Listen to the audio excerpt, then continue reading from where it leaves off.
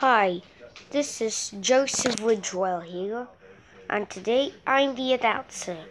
Today it's the announcer announcement of Rat Story the Feature. It's a third movie for Rat Story. It's a wonderful movie for those hand creatures to make. And the deal is going to be for hand creatures. You're singly for perfect. So, if you watch But this, what about humans? no, no humans. Official the Seats trailer. This is me, Joseph Woodwell, signing off.